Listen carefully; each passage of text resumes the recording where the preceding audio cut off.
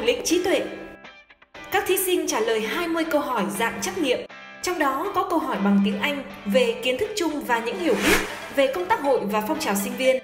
Thời gian suy nghĩ và trả lời mỗi câu hỏi là 20 giây. Trả lời đúng mỗi câu hỏi được 10 điểm, trả lời sai hoặc không đưa ra đáp án không có điểm. Điểm số tối đa ở nội dung này là 200 điểm. Kết quả của phần thi thủ lĩnh sáng tạo và hành trình trải nghiệm sẽ là điểm số bắt đầu của thí sinh trong vòng thi đối kháng sân khấu. Kết thúc phần thi thủ lĩnh trí tuệ, 10 thí sinh có tổng điểm cao nhất và thời gian thi ngắn nhất sẽ tham gia phần thi tiếp theo.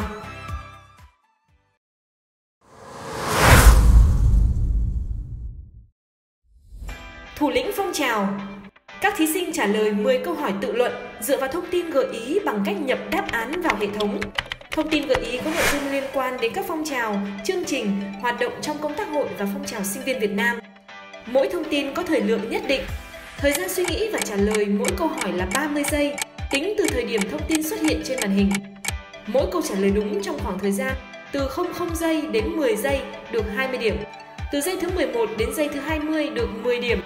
Từ giây thứ 21 đến giây thứ 30 được 5 điểm.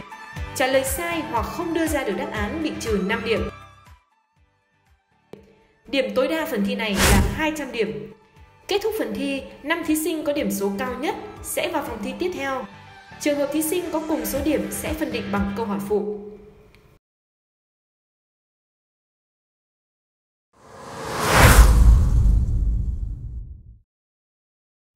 Thủ lĩnh tài năng các thí sinh sẽ vận dụng các kỹ năng, kiến thức lần lượt xử lý các tình huống cụ thể trong công tác hội và phong trào sinh viên. Mỗi thí sinh xử lý một tình huống được thể hiện dưới dạng sân khấu hóa. Thời gian để xử lý tình huống cho mỗi thí sinh tối đa là 5 phút. Điểm cho phần thi này là 100 điểm. Điểm của thí sinh là điểm trung bình cộng của ban giám khảo. Kết thúc phần thi, 3 thí sinh có tổng điểm cao nhất qua các phần thi sẽ tham gia phần thi tiếp theo.